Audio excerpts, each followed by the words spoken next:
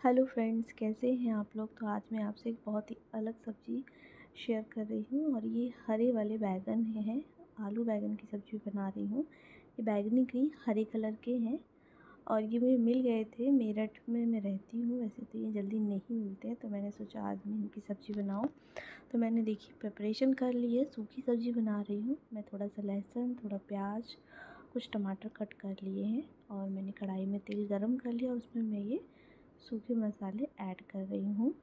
इसमें राई, मेथी और सौंफ। ये देखिए, तेल गरम हो गया था और उसके बाद मैं इसमें ये मसाले ऐड कर दूँगी। जैसे तेल गरम होने के बाद कड़वा तेल में ही मैं बना रही हूँ। ज़्यादातर मैं सब्ज़ी उसी में बनाती हूँ। तो और मैं इसमें ये जो भी मसाले मैंने निकाल करके रखे मैंने डाल दिए हैं। तो ये देखिए तेल गर्म हो गया था अच्छे से तो मसाले तुरंत पक गए और मैंने अभी थोड़ा सा जो लहसुन था उसको डाला। गैस मैंने थोड़ी धीरे कर दी थी, क्योंकि कढ़ाई बहुत ज़्यादा गर्म लग रही थी मुझे। फिर लहसुन थोड़ा सा पक जाएगा, उसके बाद मैं इसमें प्याज ऐड कर दूँगी। जो एक डेढ़ प्याज मैंने काटा है देखिए, प्याज भी डाल के मैं इसको अच्छे से भून लूँगी।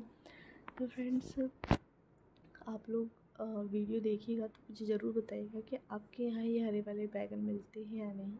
क्योंकि ये हर जगह नहीं मिलते हैं, ज़्यादातर ये मध्य प्रदेश में मिलते हैं, इस तरफ़ नहीं मिलते हैं। और मुझे, मैं रह कर चुकी हूँ मध्य प्रदेश में तो मुझे ये पसंद है।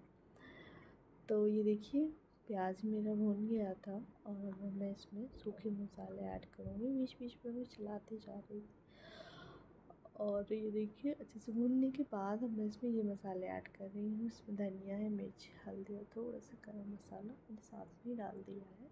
और ये सब डाल के मैं इसको अच्छे से मिक्स कर देती हूँ। थोड़ा सा मैं इसमें पानी ऐड कर दूँगी और एक चम्मच नमक डालूँगी एक चम्मच नमक मैंने डाला है।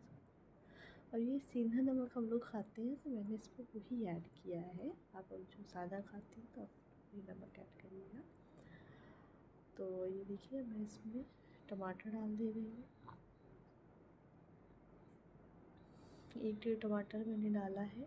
टमाटर अब थोड़ा सस्ता भी हो गया था, इसलिए मैंने टमाटर डाला है और टमाटर डालने से सब्ज़ी और अच्छी लगती है, थोड़ी सी खट्टी खट्टी सी हो जाती है तो इसका टेस्ट बहुत अच्छा आता है। तो ये मैंने सब्ज़ियाँ धो कर रखी हुई थी और हमें ये सारी सब्ज़ियाँ कढ़ाई में डाल दी गई डाल करके हम इसको अच्छे से मिक्स करते जाएँगे। सो फ्रेंड्स प्लीज़ आप लोग मेरे ब्लॉग्स को देखिए सब्सक्राइब कीजिए चैनल को लाइक करिए शेयर करिए अगर आपको मेरी रेसिपी पसंद आती है तो। और इस समय मैं आपसे और भी चीज़ें शेयर करूँ और रेसिपी शेयर करूँ, अपना डेली रूटीन शेयर करूँ। तो प्लीज़ आप लोग देखिए रेसिपी को, अच्छे से देखिए, अगर आपको अच्छी लगती है तो आप मुझे बताइएगा। सब्ज़ी को ढक दिया था, जिससे वो अच्छे से पक जाए।